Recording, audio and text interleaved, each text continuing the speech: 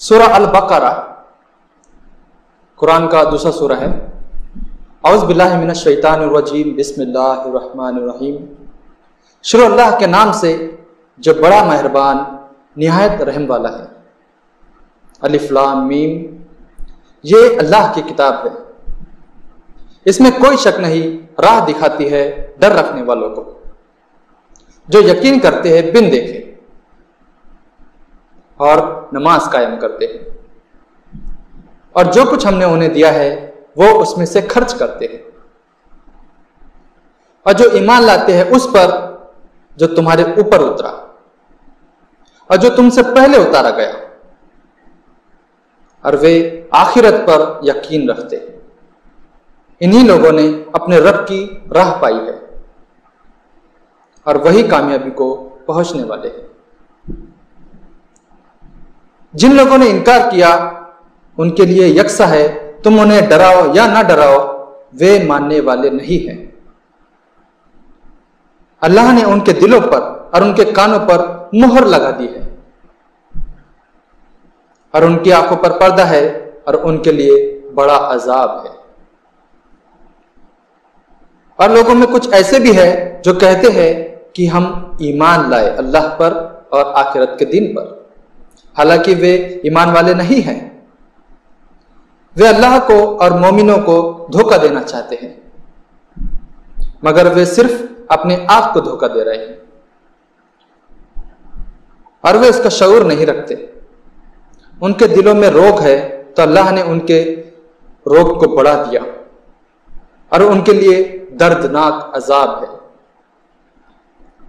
इस वजह से कि वे झूठ कहते हैं। और जब उनसे कहा जाता है कि धरती पर फसाद ना करो तो वे जवाब देते हैं, हम तो सुधार करने वाले हैं।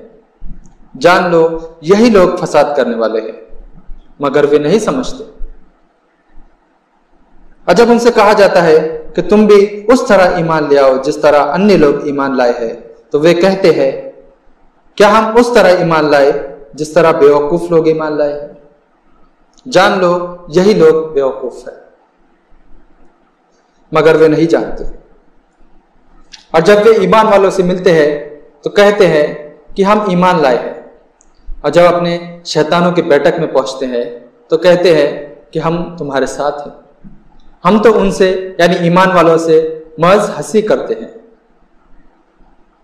अल्लाह उनसे हँसी कर रहा है और उन्हें उनकी सरकशी में ढील दे रहा है। वे भटकते फिर रहे हैं। ये वे लोग हैं जिन्होंने हिदायत के बदले गुमराही खरीदी। तो उनकी तिजारत फ़ायदेमंद ना हुई और वे ना हुए राह पाने वाले। उनकी मिसाल ऐसी है जैसे एक शख्स ने आग जलाई। जब आग ने उसके इर्द गिर्द को रोशन कर दिया तो अल्लाह ने उनकी आग की रोशनी छीन ली और उन्हें अंधेरे में छोड़ दिया कि उन्हें कुछ दिखाई नहीं पड़ता। वे बहरे हैं, गूँगे हैं, अंधे।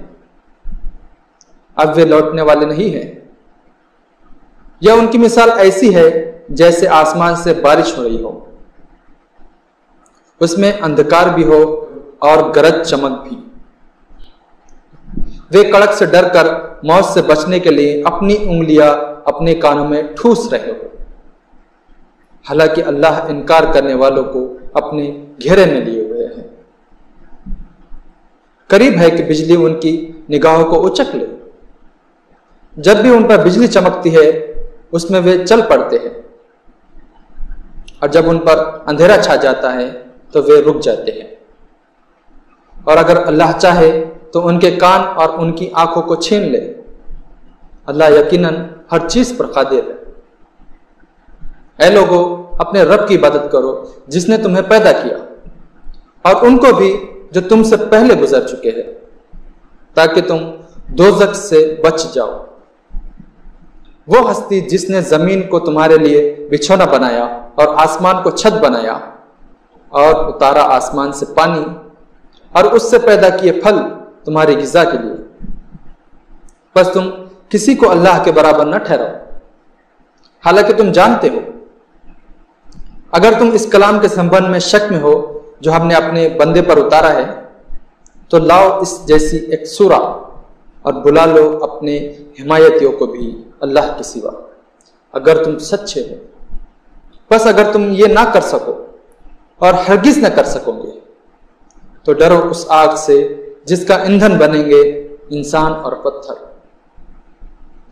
वो तैयार की गई है हक का इनकार करने वालों के लिए। और खुशखबरी दे दो उन लोगों को जो ईमान लाए और जिन्होंने नेक काम किए, कि उनके लिए ऐसे बाग होंगे जिनके नीचे नहरें जारी होंगी। जब भी उन्हें इन बागों में से कोई फल खाने को मिलेगा तो वे कहेंगे ये वही है जो इससे पहले हमें दिया गया था, और मिलेगा उन्हें एक दूसरे से मिलता जुलता। और उनके लिए वहाँ साफ़ सुथरी औरतें होंगी, और वे उसमें हमेशा रहेंगे। अल्लाह इससे नहीं शर्माता कि बयान करे मिसाल मच्छर की या इससे भी किसी छोटी चीज़ की। फिर जो ईमान वाले हैं, वे जानते हैं कि वो हक है उनके रब की जानब से। और जो इनकार करने वाले हैं, वे कहते हैं कि इस मिसाल को बयान करके अल्लाह ने क्या चाहा है? अल्लाह इसके ज़रिए बहुतों को गुमराह करता है और बहुतों को इससे राह दिखाता है। और वो गुमराह करता है सिर्फ़ उन लोगों को जो नाफरमानी करने वाले हैं। जो अल्लाह के अहद को उसके बांधने के बाद तोड़ते हैं और उस चीज़ को तोड़ते हैं जिसे जोड़ने का अल्लाह ने हुक्म दिया है और ज़मीन में बिगाड़ पैदा करते हैं। यही लोग हैं नुकसान उठाने वाले। तुम किस तरह अल्लाह का इनकार करते हो? हालाँकि तुम बेजान थे। तो उसने तुम्हें ज़िंदगी अता की। फिर वह तुम्हें मौत देगा। फिर वह तुम्हें ज़िंदा करेगा। फिर उसी की तरफ़ लौटाए जाओगे। वही है जिसने तुम्हारे लिए वो सब कुछ पैदा किया जो ज़मीन में है। फिर आसमान की तरफ़ तवज्जो की और सात आसमान दुरुस्त किए। और वो हर चीज़ का जानने वाला है। और जब तेरे रब ने फरिश्तों से कहा कि मैं ज़मीन में एक खलीफा बनाने वाला हूँ। फरिश्तों ने कहा, क्या तू ज़मीन में ऐसे लोगों को बसाएगा जो उसने फसाद करे और खून बहाए? और हम तेरी हमद के साथ तेरा महिमा गान करते हैं और तेरी पाकी बयान करते हैं। अल्लाह ने कहा, मैं जानता हूँ जो तुम नहीं जानते। और अल्लाह ने सिखा दिए आदम को सारे नाम। फिर उन्हें फरिश्तों के सामने पेश किया और कहा कि अगर तुम सच्चे हो तो मुझे इन लोगों के नाम बताओ। फरिश्तों ने कहा कि तू पाक है।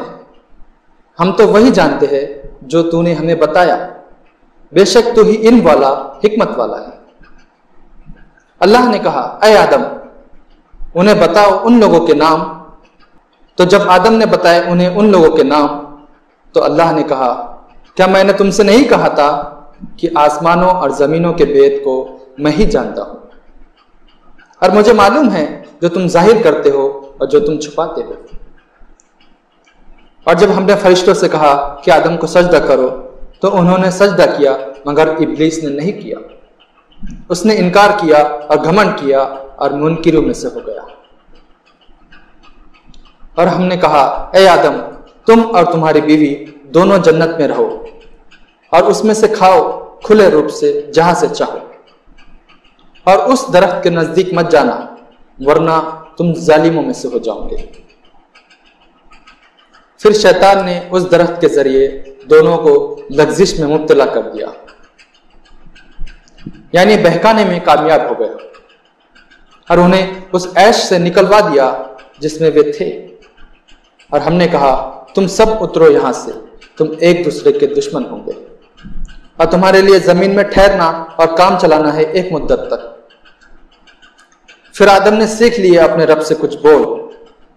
तो अल्लाह उस पर मुतवजह हुआ। बेशक वो तौबा कबूल करने वाला, रहम करने वाला। हमने कहा, तुम सब यहाँ से उतरो। फिर जब फिर जब आए तुम्हारे पास मेरी तरफ़ से कोई हिदायत तो जो मेरी हिदायत की पैरवी करेंगे, उनके लिए ना कोई डर होगा और ना वे गमगीन होंगे। और जो लोग इनकार करेंगे और हमारी निशानियों को झुटलाएँगे तो वही लोग दो वाले हैं। वे उसमें हमेशा रहेंगे।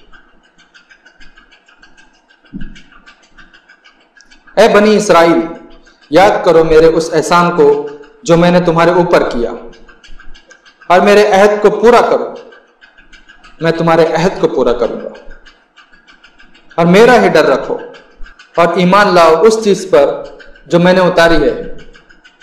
तस्दीक करती हुई उस चीज़ की जो तुम्हारे पास है। और तुम सबसे पहले उसका इनकार करने वाले ना बनो। और ना लो मेरी आयतों पर बोल थोड़ा, और मुझसे डरो। और सही में गलत को ना मिलाओ, और सच को ना छुपाओ। हालाँकि तुम जानते हो, और नमाज़ कायम करो, और जक़ात अदा करो। और झुकने वालों के साथ झुक जाओ। तुम लोगों से नेक काम करने को कहते हो और अपने आप को भूल जाते हो। हालाँकि तुम किताब की तिलावत करते हो। क्या तुम समझते नहीं? और मदद चाहो सब्र और नमाज़ से। और बेशक वो भारी है, मगर उन लोगों पर नहीं जो डरने वाले हैं। जो गुमान रखते हैं कि अपने रब से मिलना है। और वे उसी की तरफ़ लौटने वाले ए बनी इसराइल, मेरे उस एहसान को याद करो जो मैंने तुम्हारे ऊपर किया। और इस बात को कि मैंने तुम्हें दुनिया वालों पर फजीलत दी। और डरो उस दिन से कि कोई जान किसी दूसरे जान के कुछ काम ना आएँगी। ना उसकी तरफ़ से कोई सिफारिश कबूल की जाएँगी, और ना उससे बदले में कुछ लिया जाएगा। और ना उनकी कोई मदद की जाएगी। और जब हमने तुम्हें फिरौन के लोगों से छुड़ाया, वे तुम्हें बड़ी तकलीफ़ देते थे। तुम्हारे बेटे को, तुम्हारे बेटों को मार डालते और तुम्हारी औरतों को ज़िंदा रखते। और उसमें तुम्हारे रब की तरफ़ से भारी आजमाइश थी। और जब हमने दरिया को फाड़ कर तुम्हें पार कराया, फिर बचाया तुम्हें और डुबा दिया फिरौन के लोगों को, और तुम देखते रहे। और जब हमने मूसा से वादा किया चालीस रात का, फिर तुमने इसके बाद बछड़े को माबूद बना लिया, और तुम जालिम में से हो गए। फिर हमने उसके बाद तुम्हें माफ़ कर दिया, ताकि तुम शुक्रगुजार बनो। और जब हमने मूसा को किताब दी, और हक और बातिल के दरमियान फैसला करने वाली चीज़ ताकि तुम राह पाओ। और जब मूसा ने अपनी कौम से कहा कि अय मेरी कौम, तुमने बछड़े को माबूद बनाकर अपनी जानों पर जुल्म किया है। अब अपने पैदा करने वाले की तरफ़ मुतवजह हो जाओ और अपने भीतर के मुजरिमों को अपने हाथों से कत्ल करो।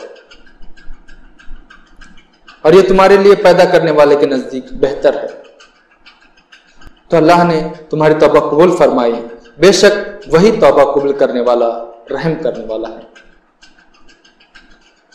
और जब तुमने कहा कि अय मूसा, हम तुम्हारा यकीन नहीं करेंगे जब तक हम अल्लाह को सामने न देख ले। तो तुम्हें बिजली ने पकड़ लिया और तुम देख रहे थे। फिर हमने तुम्हारी मौत के बाद तुम्हें उठाया ताकि तुम शुक्रगुजार बनो। और हमने तुम्हारे ऊपर बदलियों का साया किया और तुम पर मन व सलवा उतारा। खास सूत्र चीज़ों में से जो हमने तुम्हें दी है, और उन्होंने हमारा कुछ नुकसान नहीं किया, वे अपना ही नुकसान करते रहे।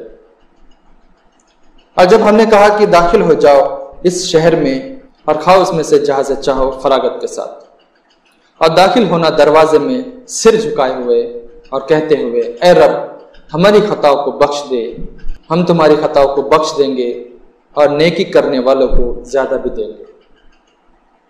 तो उन जालिमों ने बदल दिया उस बात को जो उनसे कही गई थी। दूसरी बात से तो हमने उन जालिमों पर नाफरमानी के सबब आसमान से अजाब उतारा। और जब मूसा ने अपनी कौम के लिए पानी मांगा तो हमने कहा, अपना आशा पत्थर पर मारो। तो उसे फूट निकले बारह चश्मे। हर गिरोह ने अपना अपना घाट पहचान लिया। हमने कहा, खाओ और पियो अल्लाह के रिश्ते और फिर, और ना फिरो ज़मीन में फसाद मचाने वाले बनकर। और जब तुमने कहा, ए मूसा, हम एक ही किस्म के खाने पर हरगिज सब्र नहीं कर सकते। अपने रब को हमारे लिए पुकारो कि वो निकाले हमारे लिए जो उगता है ज़मीन से। साग, ककड़ी, गेहूँ, मसूर, प्याज। मूसा ने कहा कि क्या तुम एक बेहतर चीज़ के बदले एक अदना चीज़ लेना चाहते हो? किसी शहर में उतरो तो तुम्हें मिलेगी वो चीज़ जो तुम मांगते हो। और डाल दी गई उन पर जिल्लत और मुहताजी, और वे अल्लाह के गजब के मुस्तक हो गए। ये इस वजह से हुआ कि वे अल्लाह की निशानियों का इनकार करते थे। और नबियों को नाहक कत्ल करते थे। ये इस वजह से हुआ कि उन्होंने नाफरमानी की और वे हद पर ना रहते थे। बेशक जो लोग मुसलमान हुए और जो लोग यहूदी हुए और नसारा और साबी, इनमें से जो शख्स ईमान लाया अल्लाह पर और आखिरत के दिन पर और उसने नेक काम किया तो ऐसे लोगों के लिए उनके रब के पास अजर है। और ऐसे लोगों के लिए ना कोई डर है और ना वे गमकीन होंगे। और जब हमने तुमसे अहद लिया और तूर पहाड़ को तुम्हारे ऊपर उठाया, पकड़ो उस चीज़ को जो हमने तुम्हें दी मजबूती के साथ। और जो कुछ इसमें है, उसे याद रखो, ताकि तुम बुरे कामों से बचो। उसके बाद तुम उससे फिर गए। अगर अल्लाह का फजल और उसकी रहमत ना होती तो ज़रूर तुम हलाक हो जाते। और अपनी कौम के उन लोगों का हाल तुम जानते हो, जो सब सनीचर के मामले में अल्लाह के हुक्म से निकल गए। तो हमने उनसे कहा कि तुम लोग जलील बंदर बन जाओ। फिर हमने उसे इबरत बना दिया उन लोगों के लिए जो उस वक्त मौजूद थे और उन लोगों के लिए जो उसके बाद आए। और उसमें हमने नसीहत रख दी डर वालों के लिए। और जब मूसा ने अपनी कौम से कहा कि अल्लाह तुम्हें हुक्म देता है कि तुम एक गाय जबाह करो उन्होंने कहा, क्या तुम हमसे हँसी कर रहे हो? मूसा ने कहा कि मैं अल्लाह की पनाह माँगता हूँ कि मैं ऐसा नादान बनूं। उन्होंने कहा, अपने रब से दरख्वास्त करो कि वो हमसे बयान करे कि वो गाय कैसी हो। मूसा ने कहा, अल्लाह फरमाता है कि वो गाय न बूढ़ी हो और न बछिया, उनके बीच की हो। अब कर डालो जो हुक्म तुमको मिला है। उन्होंने कहा, अपने रब से दरख्वास्त करो कि वो बयान करे कि उसका रंग कैसा हो। मूसा ने कहा, अल्लाह फरमाता है कि वो गाय गहरे जर्द, सुनहरे रंग की हो। देखने वालों को अच्छी मालूम होती हो। उन्होंने कहा, अपने रब से दरख्वास्त करो कि वो हमसे बयान कर दे कि वो कैसी हो, क्योंकि गाय में हमें शुभा पड़ गया है। और अल्लाह ने चाहा तो हम राह पा लेंगे। मूसा ने कहा, अल्लाह फरमाता है कि वो एक ऐसी गाय हो कि मेहनत करने वाली ना हो, ज़मीन को जोतने वाली और खेतों को पानी देने वाली ना हो। वो सालिम हो, उसमें कोई दाग ना हो। उन्होंने कहा, अब तुम स्पष्ट बात लाए। फिर उन्होंने उसे जबा किया, लेकिन हकीकत के एतबार से वे जबा करते नज़र ना आते थे। और जब तुमने एक शख्स को मार डाला, फिर एक दूसरे पर उसका इल्ज़ाम डालने लगे। हालाँकि अल्लाह को उस जुर्म का सत्य ज़ाहिर करना मंजूर था, जो तुम छुपाना चाहते थे। बस हमने हुक्म दिया कि मारो उस मुर्दे को इस गाय के एक टुकड़े से। फिर वो मुर्दा अपने कातिल का नाम बता देगा। इस तरह ज़िंदा करता है अल्लाह मुर्दों को, और वो तुम्हें अपनी निशानियाँ दिखाता है ताकि तुम समझो। फिर उसके बाद तुम्हारे दिल सख्त हो गए बस वे पत्थर की तरह हो गए, या उससे भी ज़्यादा सख्त। पत्थरों में कुछ ऐसे भी होते हैं जिनसे नहरें फूट निकलती है। कुछ पत्थर फट जाते हैं और उनसे पानी निकल आता है। और कुछ पत्थर ऐसे भी होते हैं जो अल्लाह के डर से गिर पड़ते हैं। और अल्लाह उससे बेखबर नहीं जो तुम करते हो। क्या तुम ये उम्मीद रखते हो कि ये यहूद तुम्हारे कहने से ईमान ले आएँगे? हालाँकि उनमें से कुछ लोग ऐसे हैं कि वे अल्लाह का कलाम सुनते थे, फिर उसे बदल डालते थे। समझने के बाद और वे जानते हैं। जब वे ईमान वालों से मिलते हैं तो कहते हैं कि हम ईमान लाए हुए हैं। और जब आपस में एक दूसरे से अकेले में मिलते हैं तो कहते हैं, क्या तुम उन्हें वे बात बताते हो जो अल्लाह ने तुम पर खोली है? कि वे उसके ज़रिए तुम्हारे रब के पास तुमसे हुज्जत करें। क्या तुम समझते नहीं? क्या वे नहीं जानते थे कि अल्लाह को मालूम है जो वे छुपाते हैं, जो वे ज़ाहिर करते हैं? और उनमें अनपढ़ है जो नहीं जानते किताब को। मगर आरजुए, इनके पास गुमान के सिवा और कुछ नहीं। बस खराबी है उन लोगों के लिए जो अपने हाथ से किताब लिखते हैं। फिर वे कहते हैं कि यह अल्लाह की जानब से है, ताकि उसके ज़रिए से थोड़ी सी पूंजी हासिल कर लें। बस खराबी है उस चीज़ की बदौलत जो उनके हाथों ने लिखी। और उनके लिए खराबी है अपनी इस कमाई से। और वे कहते हैं, हमें दोजक की आग नहीं छुएँगी, मगर गिनती के कुछ दिन। कहो, क्या तुम अल्लाह के पास से कोई अहद ले लिया है कि अल्लाह अपने अहद के खिलाफ नहीं करेगा।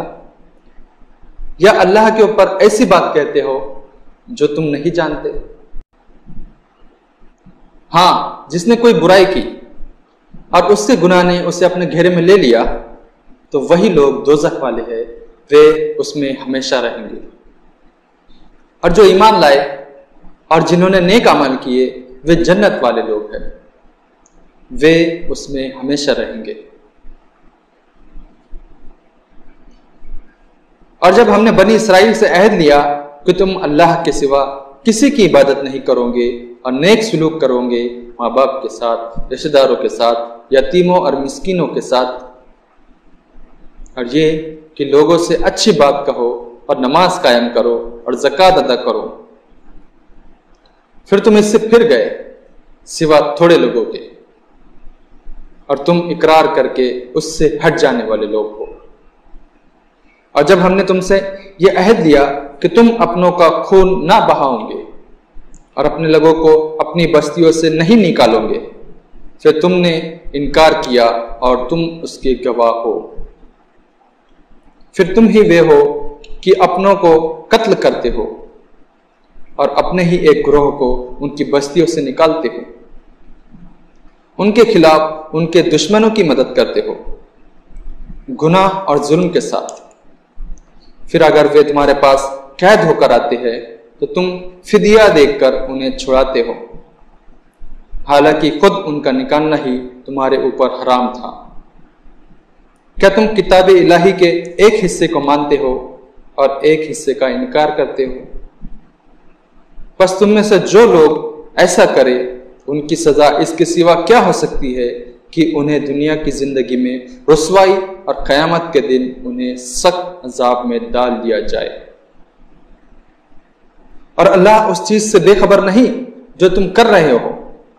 यही लोग हैं जिन्होंने आखिरत के बदले दुनिया की ज़िंदगी खरीदी। बस ना उनका अजाब हल्का किया जाएगा और ना उन्हें मदद पहुंचेगी। और हमने मूसा को किताब दी और उसके बाद दे पर दे रसूल भेजे। और ईसा बिन मरियम को खुली खुली निशानियाँ दी और रूह पाक से उसकी तायद की। तो जब भी कोई रसूल तुम्हारे पास वो चीज़ लेकर आया जिसे तुम्हारा दिल नहीं चाहता था तो तुमने घमंड किया। फिर एक जमात को झुटलाया और एक जमात को मार डाला। और यहूद कहते हैं कि हमारे दिल महफूज है। नहीं, बल्कि अल्लाह ने उनके इनकार की वजह से उन पर लानत कर दी है। इसलिए कि वे बहुत कम ईमान लाते हैं। और जब आई अल्लाह की तरफ़ से उनके पास एक किताब जो सच्चा करने वाली है उससे जो उनके पास है, और वे पहले से मुनकिरों पर फतह मांगा करते थे। फिर जब आई उनके पास वो चीज़ जिसे उन्होंने पहचान रखा था तो उन्होंने उसका इनकार कर दिया। बस अल्लाह की लानत है इनकार करने वालों पर। कैसी बुरी है वो चीज़ जिसके लिए उन्होंने अपनी जानों का मोल किया? वो ये कि वे इनकार कर रहे हैं अल्लाह के उतारे हुए कलाम का। और इस जिद की बुनियाद पर कि अल्लाह अपने फजल से, अपने बंदों में से जिस पर चाहे उतारे। बस वे गुस्से पर गुस्सा कमा कर लाए और इनकार करने वालों के लिए जिल्लत का अजाब है। और जब उनसे कहा जाता है, उस कलाम पर ईमान लाओ जो अल्लाह ने उतारा है तो वे कहते हैं कि हम उस पर ईमान रखते हैं जो हमारे ऊपर उतरा है। और वे इसका इनकार करते हैं जो उसके पीछे आया है। हालाँकि वो हक है और सच्चा करने वाला है, उससे जो उनके पास है। कहो, अगर तुम ईमान वाले हो तो तुम अल्लाह के पैगंबरों को इससे पहले क्यों कत्ल करते रहे हो?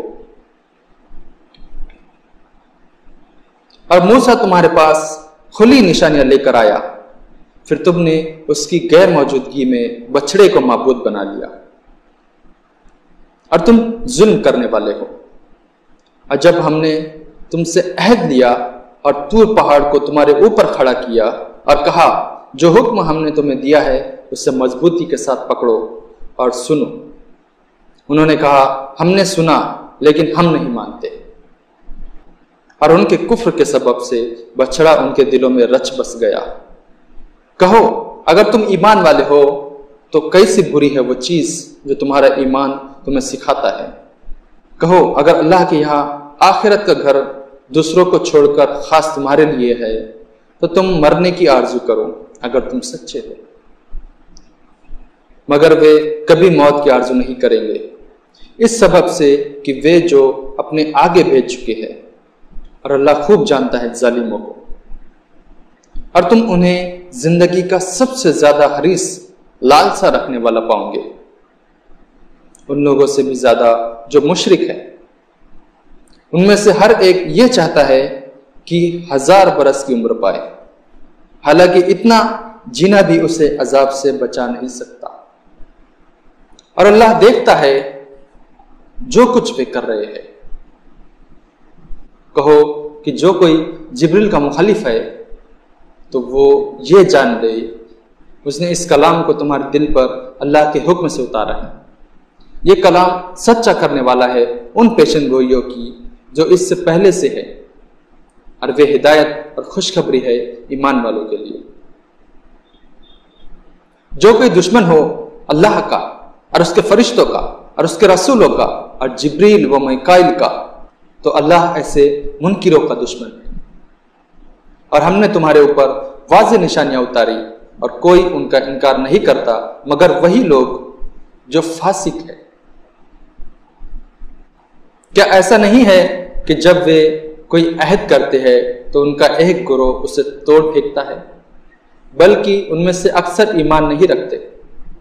और जब उनके पास अल्लाह की तरफ़ से एक रसूल आया, जो सच्चा करने वाला था, उस चीज़ का जो उनके पास है तो उन लोगों ने जिन्हें किताब दी गई थी, अल्लाह की किताब को इस तरह पीठ पीछे फेंक दिया, गोया वे इसे जानते ही नहीं। और वे उस चीज़ के पीछे पड़ गए जिसे शयातीन सुलेमान की सल्तनत से जोड़कर पढ़ते थे। हालाँकि सुलेमान ने कुफ्र नहीं किया, बल्कि ये शयातीन थे जिन्होंने कुफ्र किया। वे लोगों को जादू सिखाते थे और वे उस चीज़ में पड़ गए जो बेबीलोन में हारूद और मारूद इन दो फरिश्तों पर उतारी गई। जब उनका हाल ये था कि जब भी किसी को अपना ये फन कला सिखाते तो उसे कह देते कि हम तो आजमाइश के लिए। बस तुम मुनकिर ना बनो। मगर वे उनसे वो चीज़ सीखते, जिससे मर्द और उसकी बीवी के दरमियान जुदाई डाल दे हालाँकि वे अल्लाह के इज्न के बगैर उससे किसी का कुछ बिगाड़ नहीं सकते थे।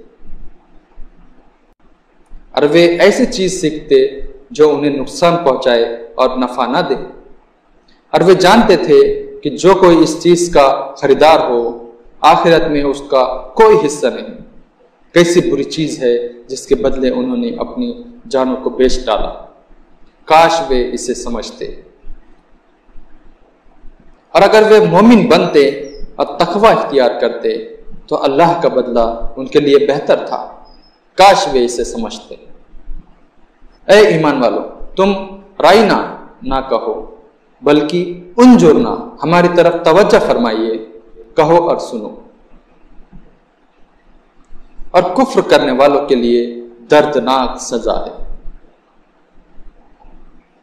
जिन लोगों ने इनकार किया, चाहे अहले किताब हो या मुशरकिन, वे नहीं चाहते कि तुम्हारे ऊपर, तुम्हारे रब की तरफ़ से कोई भलाई उतरे। और अल्लाह जिसे चाहता है, अपनी रहमत के लिए चुन लेता है। और अल्लाह बड़े फजल वाला है। हम जिस आयत को मौकूफ करते हैं या भुला देते हैं तो उससे बेहतर या उस जैसी दूसरी लाते हैं। क्या तुम नहीं जानते कि अल्लाह हर चीज़ पर कुदरत रखता है? क्या तुम नहीं जानते कि अल्लाह ही के लिए आसमानों और जमीनों की बादशाही है? और तुम्हारे लिए अल्लाह के सिवा न कोई दोस्त है और न कोई मददगार। क्या तुम चाहते हो कि अपने रसूल से सवालत करो? जिस तरह इससे पहले मूसा से सवालत किए गए। और जिस शख्स ने ईमान को कुफ्र से बदल दिया, वो यकीनन सीधी राह से भटक गया। बहुत से अहले किताब दिल से चाहते हैं कि तुम्हारे मोमिन हो जाने के बाद वे किसी तरह फिर तुम्हें मुनकिर बना दे। अपने हसद की वजह से। बावजूद ये कि हक उनके सामने वाज हो चुका है, बस माफ़ करो और दरगुजर करो, यहाँ तक कि अल्लाह का फैसला आ जाए। बेशक अल्लाह हर चीज़ पर कुदरत रखता है। और नमाज़ कायम करो और जक़ात अदा करो। और जो भलाई तुम अपने लिए आगे भेजोगे, उससे तुम अल्लाह के पास पाओगे। जो कुछ तुम करते हो, अल्लाह यकीनन उसे देख रहा है। और वे कहते हैं कि जन्नत में सिर्फ़ वही लोग जाएँगे जो यहूदी हो या ईसाई हो। ये महज उनकी आरजुए है। कहो कि लाओ अपनी दलील अगर तुम सच्चे हो। बल्कि जिसने अपने आप को अल्लाह के हवाले कर दिया, और वो मुखलिस भी है तो ऐसे शख्स के लिए अज्र है उसके रब के पास। उनके लिए ना कोई डर है और ना कोई गम। और यहूद ने कहा कि नसारा किसी चीज़ पर नहीं और नसारा ने कहा कि यहूद किसी चीज़ पर नहीं। और वे सब आसमानी किताब पढ़ते हैं। इस तरह उन लोगों ने कहा, जिनके पास इल्म नहीं, उन्हीं का सा कौल। बस अल्लाह कयामत के दिन उनके दरमियान उस बात का फैसला करेगा जिसमें ये झगड़ रहे थे। उससे बढ़कर जालिम और कौन होगा? उससे बढ़कर जालिम और कौन होगा जो अल्लाह की मस्जिदों में अल्लाह की याद किए जाने से रोके? और उन्हें उजाड़ने की कोशिश करे। उनका हाल तो ये होना चाहिए, उनका हाल तो ये होना चाहिए था कि मस्जिदों में अल्लाह से डरते हुए दाखिल हो। उनके लिए दुनिया में रसवाई है और आखिरत में उनके लिए भारी सजा है। और पूरब और पश्चिम अल्लाह ही के लिए है। तुम जिधर रुक करो, उसी तरफ़ अल्लाह है। यकीनन अल्लाह वसत वाला है, इल्म वाला है। और कहते हैं कि अल्लाह ने बेटा बनाया है। वो इससे पाक है, बल्कि आसमानों और ज़मीन में जो कुछ है, सब उसी का है। उसी का हुक्म मानने वाले हैं सारे। वो आसमानों और ज़मीन को वजूद में लाने वाला है। वो जब किसी काम को करने तय कर लेता है तो बस उसके लिए फरमा देता है कि हो जा तो वो हो जाता है। और जो लोग इल्म नहीं रखते, उन्होंने कहा, अल्लाह क्यों नहीं कलाम करता हमसे? या हमारे पास कोई निशानी क्यों नहीं आती? इसी तरह उनके अगले भी उन्हीं की तरह बात कर चुके हैं। इन सब के दिल एक जैसे हैं। हमने पेश कर दी है निशानियाँ उन लोगों के लिए जो यकीन करने वाले हैं। हमने तुम्हें हक के साथ भेजा है, खुशखबरी सुनाने वाला और डराने वाला बनाकर। और तुमसे दोजक में जाने वालों की बाबत कोई पूछ नहीं होगी। और यहूद और नसारा हरगिज तुमसे राज़ी नहीं होगे जब तक कि तुम उनके दीन पर ना चलने लगो। तुम कहो कि जो राह अल्लाह दिखाता है, वही असल राह और अगर बात उस इल्म के जो तुम तक पहुँच चुका है तुमने उनकी ख्वाहिशों की पैरवी की तो अल्लाह के मुकाबले में ना तुम्हारा कोई दोस्त होगा और ना कोई मददगार। जिन लोगों को हमने किताब दी है, वे उसे पढ़ते हैं जैसा कि हक है पढ़ने का। यही लोग ईमान लाते हैं उस पर जो उसका इनकार करते हैं, वही घाटे में रहने वाले ऐ बनी इसराइल, मेरे उस एहसान को याद करो जो मैंने तुम्हारे ऊपर किया और उस बात को कि मैंने तुम्हें दुनिया की तमाम कौमों पर फजीलत दी। और उस दिन से डरो, जिस दिन कोई शख्स किसी शख्स के कुछ काम ना आएगा, और ना किसी की तरफ़ से कोई मुआवजा कबूल किया जाएगा, और ना किसी की कोई सिफारिश फ़ायदा देंगी, और ना कहीं से उन्हें मदद पहुंचेगी। और जब इब्राहिम को उसके रब ने कुछ बातों में आजमाया तो उसने पूरा कर दिखाया। अल्लाह ने कहा मैं तुम्हें सब लोगों का इमाम बनाऊँगा। इब्राहिम ने कहा, और मेरी औलाद में से भी। अल्लाह ने कहा, मेरा अहद जालिमों तक नहीं पहुँचता। और जब हमने काबे को लोगों की इज्तमा जमा होने की जगह और अमन का मकाम ठहराया और हुक्म दिया कि मकाम इब्राहिम को नमाज़ पढ़ने की जगह बना लो। और इब्राहिम और इस्माइल को ताकीद की कि मेरे घर को तवाफ करने वालों एतकाफ करने वालों और रुकू व सजदा करने वालों के लिए पाक रखो। और जब इब्राहिम ने कहा, ए मेरे रब, इस शहर को अमन का शहर बना दे और इसके बाशिंदों को, जो उनमें से अल्लाह और आखिरत के दिन पर ईमान रखे, फलों की रोजी अता फरमा। अल्लाह ने कहा, जो इनकार करेगा, मैं उसे भी थोड़े दिनों तक फ़ायदा दूँगा। फिर उसे आग के अजाब की तरफ़ ढकेल दूँगा और वो बहुत बुरा ठिकाना है। और जब इब्राहिम और इस्माइल बैतुल्ला की दीवारें उठा रहे थे और ये कहते जाते थे, ऐ हमारे रब, कबूल कर हमसे, यकीनन तू ही सुनने वाला, जानने वाला है। ऐ हमारे रब, हमें अपना फर्मा बरदार बना और हमारी नस्ल में से अपनी एक फर्मा बरदार उम्मत उठा। और हम तेरी इबादत कैसे करें? वे तरीके हमें बता, और हमको माफ़ फरमा तो माफ़ करने वाला, रहम करने वाला है। और ए हमारे रब, उनमें, उन्हीं में का एक रसूल उठा, जो उन्हें तेरी आयतें सुनाए, और उन्हें किताब और हिकमत की तालीम दे, और उनका तस्किया और उनका तस्किया करे। बेशक तू ज़बरदस्त है, हिकमत वाला है। और कौन है जो इब्राहिम के दिन को पसंद ना करे? मगर वो जिसने अपने आप को अहमक मूर्ख बना लिया हो। हालाँकि हमने उसे दुनिया में चुन लिया था और आखिरत में वो सालहीन में से होगा। जब उसके रब ने कहा कि अपने आप को अपने रब के हवाले कर दो तो उसने कहा, मैंने अपने आप को सारे जहान के रब के हवाले किया। और उसी की नसीहत की इब्राहिम ने अपनी औलाद को और उसी की नसीहत की याकूब ने अपनी औलाद को ऐ मेरे बेटो, अल्लाह ने तुम्हारे लिए इस दिन को चुन लिया है। बस इस्लाम के सिवा किसी और हालत पर तुम्हें मौत ना आए। क्या तुम मौजूद थे जब याकूब की मौत का वक्त आया, जब उसने अपने बेटों से कहा कि मेरे बाद तुम किसकी इबादत करोगे? उन्होंने कहा, हम उसी खुदा की इबादत करेंगे, जिसकी इबादत आप और आपके बुज़ुर्ग इब्राहिम, इस्माइल, इसहाक करते आए हैं। वही एक मबूद है और हम उसके फर्मा बरदार हैं। ये एक जमात थी जो गुजर गई। उसे मिलेगा जो उसने कमाया और तुम्हें मिलेगा जो तुमने कमाया। और तुमसे उनके किए हुए की पूछ नहीं होगी। और अहले किताब कहते हैं कि यहूदी या ईसाई बन जाओ तो हिदायत पाओगे। कहो कि नहीं, बल्कि हम तो पैरवी करते हैं इब्राहिम के दिन की, जो अल्लाह की तरफ़ यकसू था और वो शिरक करने वालों में ना था। कहो, हम अल्लाह पर ईमान लाए और उस चीज़ पर ईमान लाए जो हमारी तरफ़ उतारी गई है। और उस पर भी जो इब्राहिम, इस्माइल, इसहाक, याकूब और उसकी औलाद पर उतारी गई। और जो मिला मूसा और ईसा को, और जो मिला सब नबियों को, उनके रब की तरफ़ से। हम उनमें से किसी के दरमियान फ़र्क नहीं करते और हम अल्लाह ही के फर्मा बरदार हैं। फिर अगर वे ईमान लाए, जिस तरह तुम ईमान लाए हो तो बेशक वे राह पा गए और अगर वे फिर जाए तो अब वे जिद पर हैं। बस तुम्हारी तरफ़ से अल्लाह उनके लिए काफ़ी है, और वह सुनने वाला, जानने वाला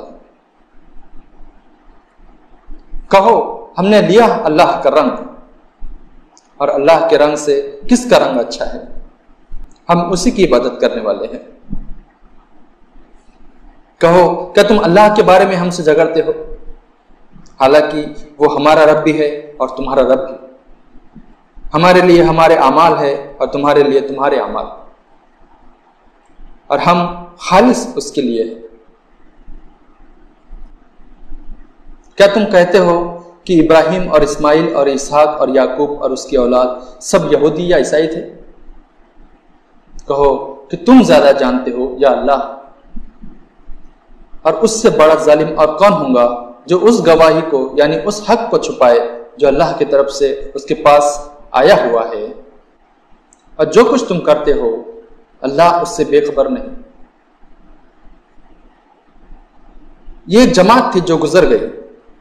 उसे मिलेगा जो उसने कमाया, तुम्हें मिलेगा जो तुमने कमाया। और तुमसे उनके किए हुए की पूछ नहीं होगी।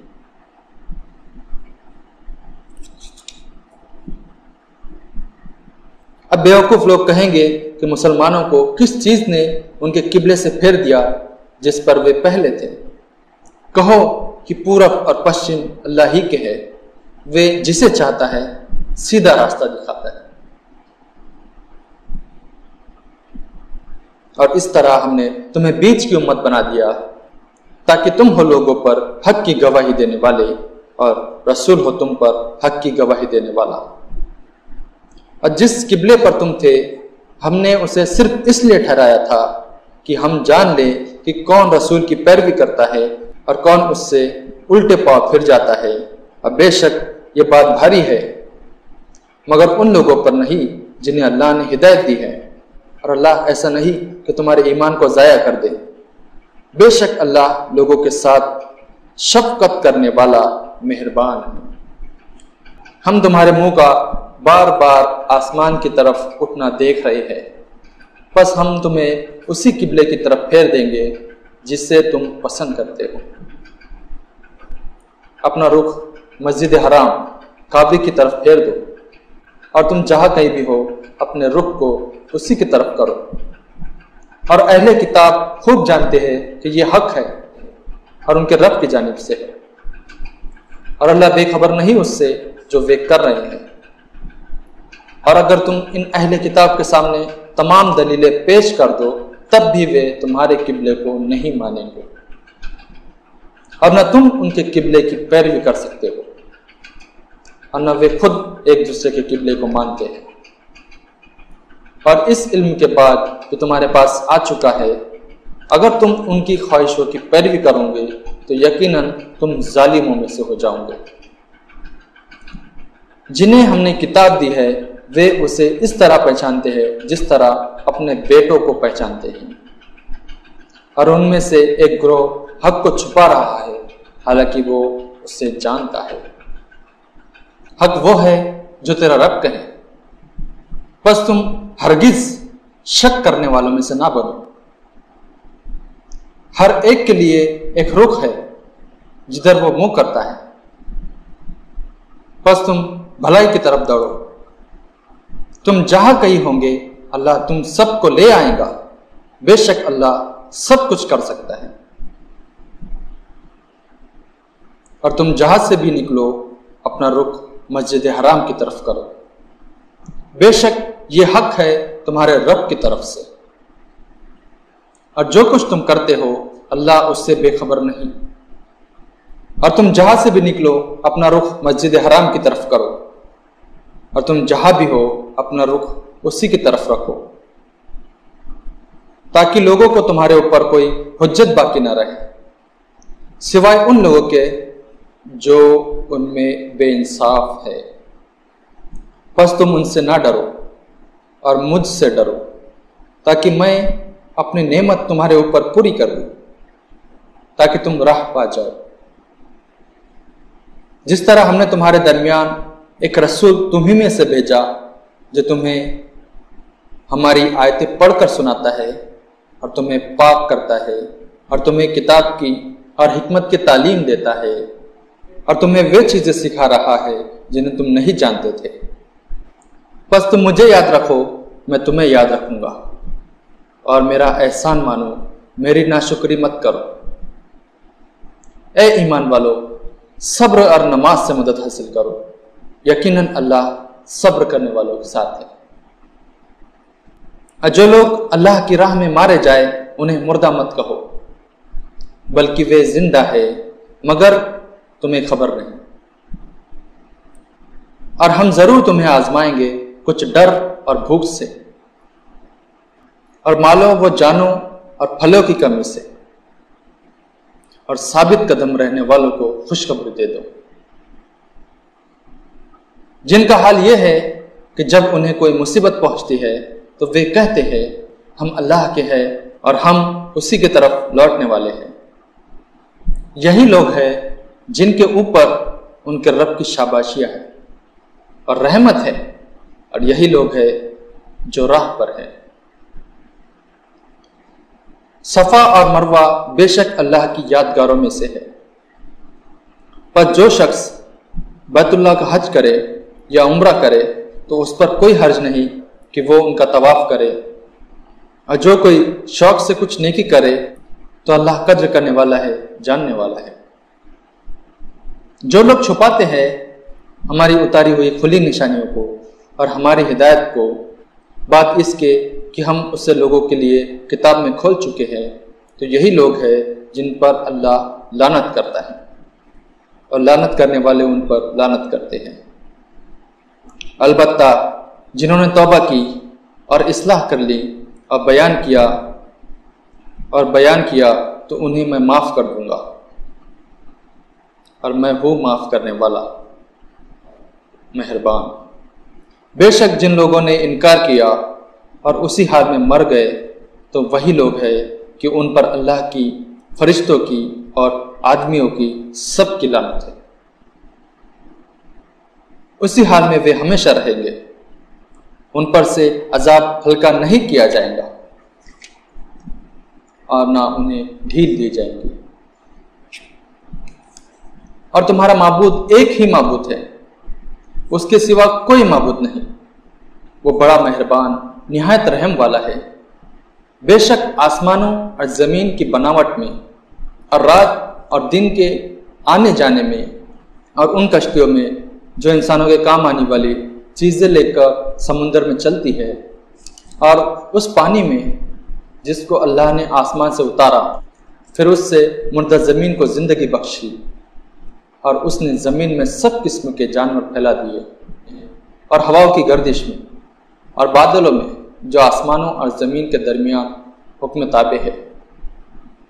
उन लोगों के लिए निशानियाँ हैं जो अकल से काम लेते हैं। और कुछ लोग ऐसे हैं जो अल्लाह के सिवा दूसरों को उसके बराबर ठहराते हैं। उनसे ऐसी मोहब्बत करते हैं जैसी मोहब्बत अल्लाह से रखना चाहिए। और जो ईमान वाले हैं, वे सबसे ज़्यादा अल्लाह से मोहब्बत रखने वाले हैं। और अगर ये जालिम उस वक्त को देख ले, जबकि वे अजाब को देखेंगे कि ज़ोर सारा का सारा अल्लाह का है और अल्लाह बड़ा सख्त अजाब देने वाला है। जबकि वे लोग जिनके कहने पर दूसरे चलते थे, यानी लीडर व रहनुमा, उन लोगों से अलग हो जाएँगे जो उनके कहने पर चलते थे। अजाब उनके सामने होगा और उनके सब तरफ़ के रिश्ते टूट चुके होंगे। वे लोग जो पीछे चले थे, यानी पैरवी करने वाले कहेंगे, काश हमें दुनिया की तरफ़ एक बार और लौटना मिल जाता तो हम भी उनसे अलग हो जाते, जैसा ये हमसे अलग हो गए। इस तरह अल्लाह उनके अमाल को उन्हें हसरत बनाकर दिखाएँगा अपने अमाल देखकर उन्हें पीड़ा होंगी, पश्चाताप होगा, और वे आग से निकल नहीं सकेंगे। लोगों, ज़मीन की चीज़ों में से हलाल और सुथरी चीज़ें खाओ, और शैतान के कदमों पर मत चलो। बेशक वो तुम्हारा खुला हुआ दुश्मन है। वो तुमको सिर्फ़ बुरे काम और बेहयाई की तलकीन करता है। और इस बात की कि तुम अल्लाह की तरफ़ वे बात मंसूब करो, जिनके बारे में तुम्हें कोई इल्म नहीं। और जब उनसे कहा जाता है कि उस पर चलो जो अल्लाह ने उतारा है तो वे कहते हैं कि हम उस पर चलेंगे जिस पर हमने अपने बाप दादा को पाया है। क्या उस सूरत में भी कि उनके बाप दादा ना आकर रखते हो और ना सीधी राह जानते हो? और इन मुनकिरों की मिसाल ऐसी है जैसे कोई शख्स ऐसे जानवर के पीछे चल रहा हो जो बुलाने और पुकारने की आवाज़ के सिवा और कुछ नहीं सुनता। ये बहरे हैं, गूँगे हैं, अंधे है। वे कुछ नहीं समझते। ए ईमान वालों, हमारी दी हुई पाक चीज़ों को खाओ और अल्लाह का शुक्र अदा करो, अगर तुम उसकी मदद करने वाले हो। अल्लाह ने तुम पर हराम किया है सिर्फ़ मुर्दार को और खून को और सुअर के गोश्त को। और जिस पर अल्लाह के सिवा किसी और का नाम लिया गया हो। फिर जो शख्स मजबूर हो जाए, वो ना ख्वाहिशमंद हो और ना हद से आगे बढ़ने वाला हो तो उस पर कोई गुना नहीं। बेशक अल्लाह बख्शने वाला मेहरबान है। जो लोग उस चीज़ को छुपाते हैं जो अल्लाह ने अपनी किताब में उतारी है और इसके बदले में थोड़ा मोल लेते हैं, वे अपने पेट में सिर्फ़ आग भर रहे हैं। कयामत के दिन अल्लाह ना उनसे बात करेगा और ना उन्हें पाक करेगा और उनके लिए दर्दनाक अजाब है। ये वे लोग हैं जिन्होंने हिदायत के बदले गुमराही का सौदा किया और बख्शिश के बदले अजाब का। तो कैसी सहार है उन्हें आग की? यानी नर की यातनाएँ सहने का कैसा अजीब साहस है उनका? ये इसलिए कि अल्लाह ने अपनी किताब को ठीक ठीक उतारा। मगर जिन लोगों ने किताब में कई राहें निकाल ली, वे जिद में दूर जा पड़े। नेकी ये नहीं कि तुम अपने मुँह पूर्व और पश्चिम की तरफ़ कर लो, बल्कि नेकी यह है कि आदमी ईमान लाए अल्लाह पर और आखिरत के दिन पर और फरिश्तों पर और किताब पर और पैगंबरों पर और माल दे अल्लाह की मोहब्बत में रिश्तेदारों को और यतीमों को और मोहताजों को। मुसाफिरों को और मांगने वालों को और गर्दने छुड़ाने में और नमाज़ कायम करे और जक़ात अदा करे और जब अहद कर ले तो उसे पूरा करे और सब्र करने वाले, सख्ती और तकलीफ़ में और लड़ाई के वक्त यही लोग हैं जो सच्चे निकले और यही है डर रखने वाले। ए ईमान वालो, तुम पर मकतूलो, यानी जिन्हें कत्ल किया गया, उनका किसास सामान बदला लेना फ़र्ज़ किया जाता है। आज़ाद के बदले आज़ाद, गुलाम के बदले गुलाम, औरत के बदले औरत, फिर जिसे उसके भाई की तरफ़ से कुछ माफ़ी हो जाए तो उसे चाहिए कि मारूफ, यानी उचित रीति की पैरवी करे और खूबी के साथ उसे अदा करे। ये तुम्हारे रब की तरफ़ से एक आसानी और मेहरबानी है।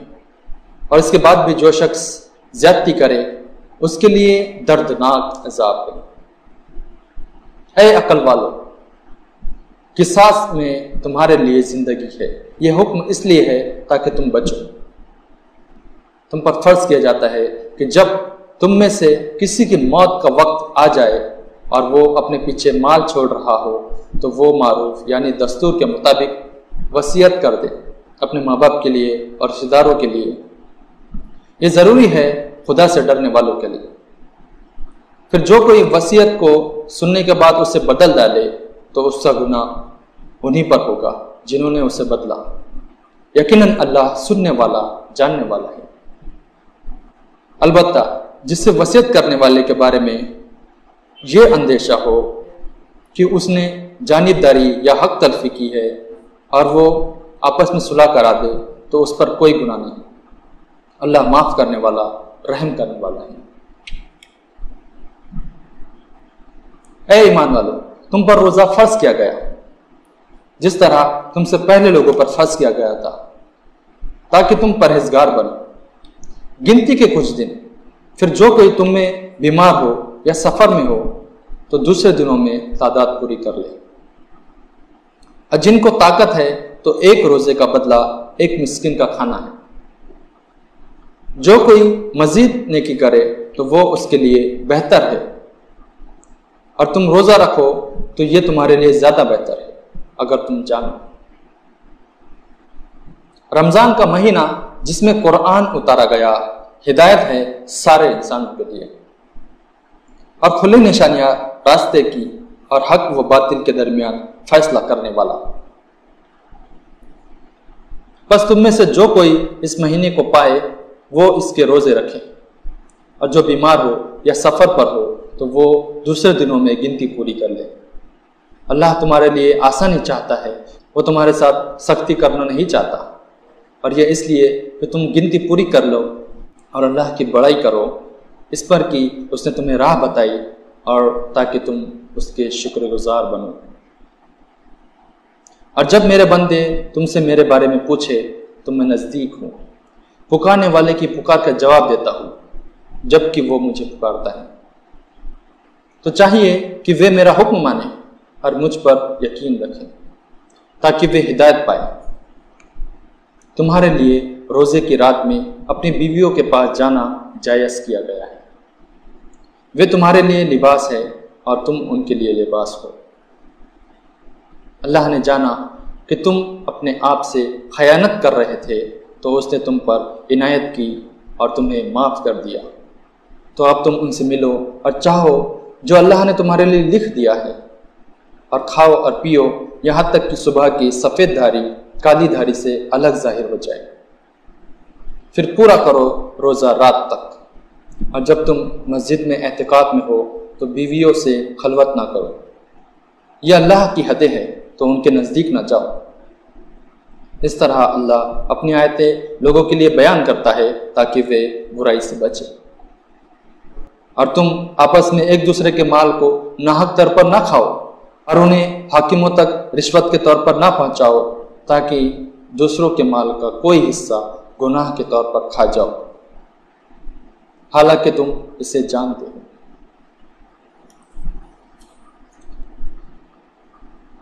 वे तुमसे नए चाँद के बारे में पूछते हैं।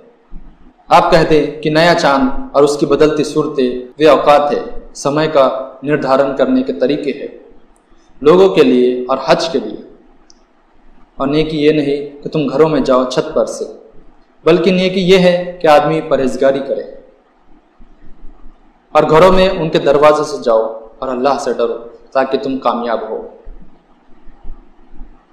और अल्लाह के राह में उन लोगों से लड़ो जो लड़ते हैं तुमसे। और ज्यादती ना करो। अल्लाह ज्यादती करने वालों को पसंद नहीं करता। और कत्ल करो उन्हें जिस जगह पाओ और निकाल दो उन्हें जहाँ से उन्होंने तुम्हें निकाला है। और फितना सख्त तर है कत्ल से। और उनसे मस्जिद हराम के पास न लड़ो, जब तक कि वे तुमसे वहाँ जंग न छेड़े। बस अगर वे तुमसे जंग छेड़े तो उन्हें कत्ल करो। यही सजा है इनकार करने वालों की। फिर अगर वे बाज आ जाए तो अल्लाह बख्शने वाला मेहरबान है। और उनसे जंग करो, यहाँ तक कि फितना बाकी ना रहे और दीन अल्लाह का हो जाए। फिर अगर वे बाज आ जाए तो उसके बाद सख्ती नहीं है मगर जालिमों पर। हुरमत वाला महीना हुरमत वाले महीने का बदला है और हुरमतों का भी किसास है। पर जिसने तुम पर ज्यादती की, तुम भी उस पर ज्यादती करो। जैसी उसने तुम पर ज्यादती की है। और अल्लाह से डरो। और जान लो कि अल्लाह परहेजगारों के साथ है। और अल्लाह की राह में खर्च करो और अपने आप को हलाकत में ना डालो और अच्छे काम करो। बेशक अल्लाह पसंद करता है अच्छे काम करने वालों को। और पूरा करो हज और उम्र अल्लाह के लिए। फिर अगर तुम रोक दिए जाओ तो जो कुर्बानी का जानवर मैसर हो, वो पेश कर दो और अपने सिरों को ना मुंडवाओ, जब तक कि कुर्बानी अपने ठिकाने पर ना पहुँच जाए। तुम में से जो कोई बीमार हो या उसके सर में कोई तकलीफ़ हो तो वो फिदिया दे। रोज़ा या सदका या कुर्बानी का और जब अमन की हालत हो और कोई हज के साथ उम्र का फ़ायदा हासिल करना चाहे तो वो कुर्बानी पेश करे, जो उससे मैसर आए। फिर जिससे मैसर ना आए तो वो हज के दिनों में तीन दिन के रोज़े रखें और सात दिन के रोज़े, जबकि तुम घरों को लौटो। ये पूरे दस हुए। ये उस शख्स के लिए है जिसका खानदार मस्जिद हराम के पास आबाद ना हो। अल्लाह से डरो और जान लो कि अल्लाह सख्त अजाब देने वाला है। हज के निर्धारित महीने हैं। बस जिसने हज का अज़म कर लिया तो फिर उसे हज के दौरान ना कोई फहश बात करनी चाहिए, और ना गुनाह की, और ना लड़ाई झगड़े की। और जो नेक काम तुम करोगे, अल्लाह उसे जान लेगा। और तुम ज़्यादा राह यात्रा सामग्री लो, बेहतरीन जादेरा तकवा है। अय अकल वालो, मुझसे डरो। इसमें कोई गुना नहीं कि तुम अपने रब का फजल भी तलाश करो। फिर जब तुम लोग अरफात से वापस हो जाओ तो अल्लाह को याद करो, मशर हराम के नज़दीक। और उसे याद करो, जिस तरह अल्लाह ने बताया है। इससे पहले यकीनन तुम राह भटके हुए लोगों में थे। फिर तवाफ को चलो, जहाँ से सब लोग चले, और अल्लाह से माफ़ी मांगो। यकीनन अल्लाह बख्शने वाला, रहम करने वाला है। फिर जब तुम अपने हज के अमाल पूरे कर लो तो अल्लाह को याद करो, जिस तरह तुम पहले अपने बाप दादा को याद करते थे। बल्कि उससे भी ज़्यादा। बस कोई आदमी कहता है अय हमारे रब, हमें इसी दुनिया में दे दे।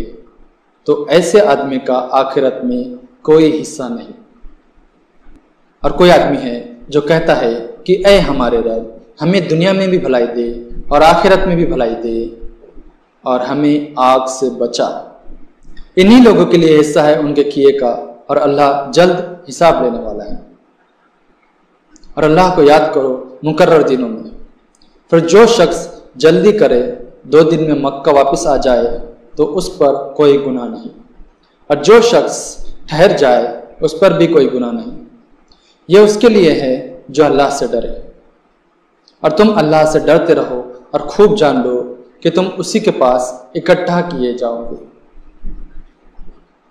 और लोगों में से कोई ऐसा भी है कि उसकी बात दुनिया की ज़िंदगी में तुम्हें भली लगती है और वो अपने दिल की बात पर अल्लाह को गवाह बनाता है। हालाँकि वो सख्त झगड़ालू है और जब वो पीठ फेरता है तो वो इस कोशिश में रहता है कि ज़मीन में फसाद फैलाए और खेतियों और जानवरों को हलाक करे। हालाँकि अल्लाह फसाद को पसंद नहीं करता। और जब उससे कहा जाता है कि अल्लाह से डर तो वकार, यानी प्रतिष्ठा की भावना, उसे गुनाह पर जमा देती है। बस ऐसे शख्स के लिए जहन्नम काफ़ी है और वो बहुत बुरा ठिकाना है। और लोगों में कोई ऐसा भी है कि अल्लाह की खुशी की तलाश में अपनी जान को बेच देता है और अल्लाह अपने बंदों पर निहायत मेहरबान है। ए ईमान वालों इस्लाम में पूरे पूरे दाखिल हो जाओ और शैतान के कदमों पर मत चलो। वो तुम्हारा खुला हुआ दुश्मन है।